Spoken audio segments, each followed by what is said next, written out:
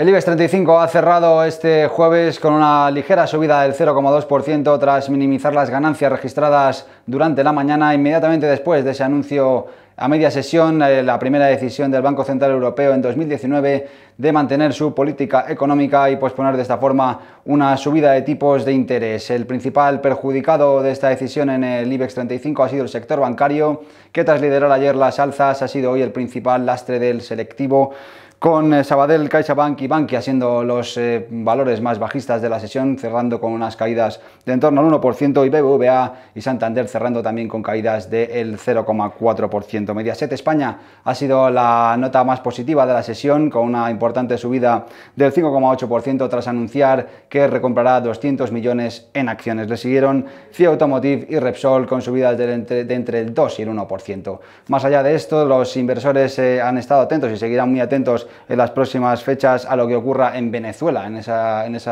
país latinoamericano donde ha habido una autoproclamación presidencial por parte de Juan Guaidó, un candidato de la oposición y que ha sido por ahora bien recibida por los mercados, tanto de bonos como de bolsa. Wall Street